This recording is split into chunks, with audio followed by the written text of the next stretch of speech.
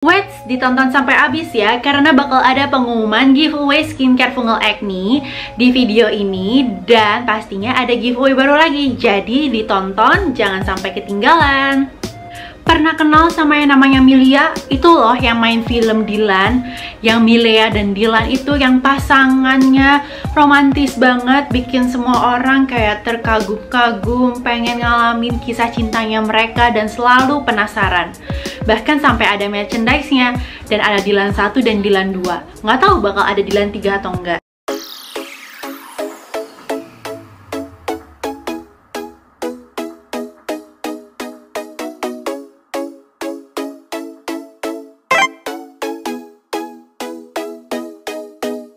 I'm the one you should never give her up. I think it's the way life changes when in love, yeah. I surround my soul with the positivity. Oh, trying to be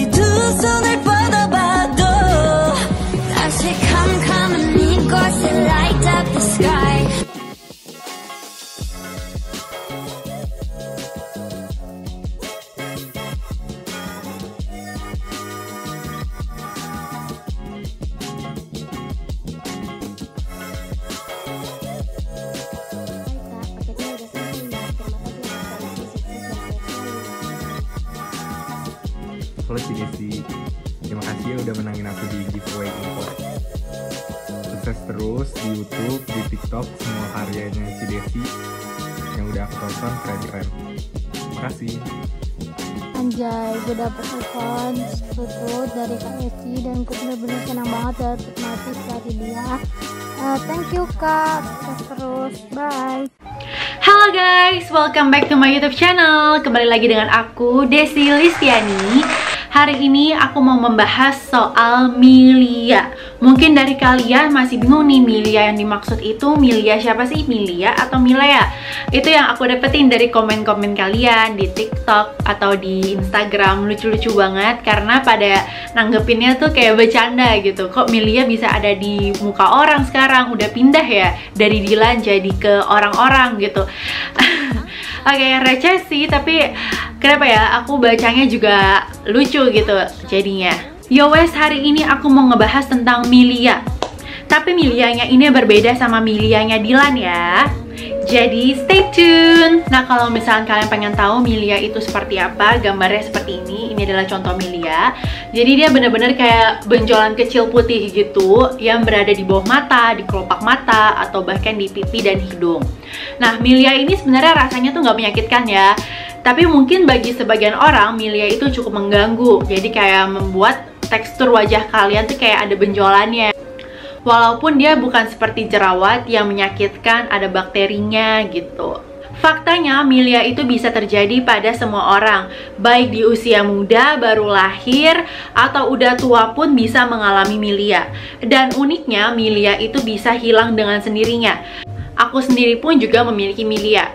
Nah, makanya itu aku mau berbagi ke kalian gimana tipsnya untuk menghilangkan serta mencegah dan mengurangi milia.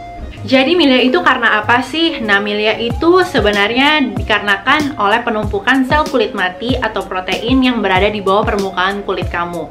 Sehingga dia menimbulkan namanya benjolan-benjolan kecil putih di area permukaan wajah. Tapi selain itu, milia juga bisa disebabkan oleh paparan sinar matahari yang terlalu panas yang mengakibatkan luka bakar. Nah, itu biasanya terjadi pada bayi yang sedang berjemur. Itu kan biasanya suka muncul milia, tapi itu bisa hilang gitu.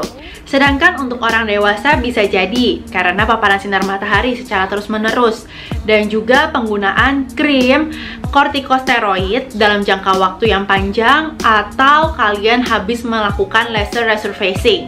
Nah, itu bisa jadi jadi sebenarnya penyebab milia itu ada banyak ya Bisa karena paparan sinar UV, bisa karena kortikosteroid, bisa jadi karena luka bakar Bisa jadi karena pengelupasan sel kulit mati kamu yang kurang sempurna Lalu gimana sih caranya untuk mencegah milia? Nah cara mencegah milia itu adalah sesuai dengan konteks yang tadi ya penumpukan sel kulit mati pastinya kalian harus menggunakan exfoliating. Baik exfoliating toner atau exfoliating serum. Nah, uh, bisa juga kalian menggunakan scrub ya, tapi scrubnya itu baiknya digunakan seminggu sekali aja, biar nggak merusak skin barrier kamu.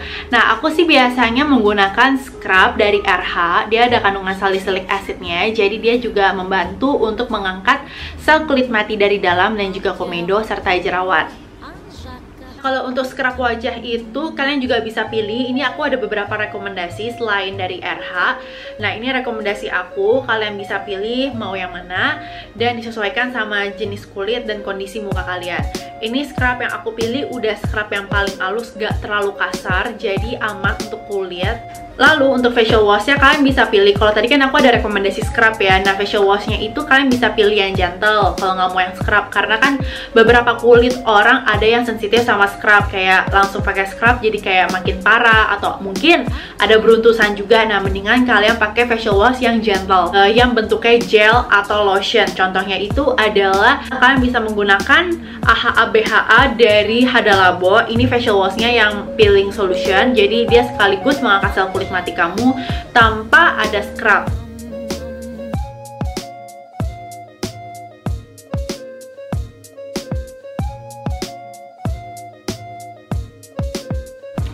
Yeay, congratulations buat kalian yang udah menangin skincare fungal acne dari aku.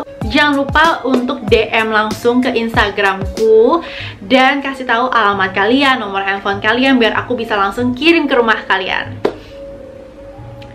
dan tentunya buat yang belum menang tenang aja karena dalam video ini aku bakal ngumumin giveaway baru.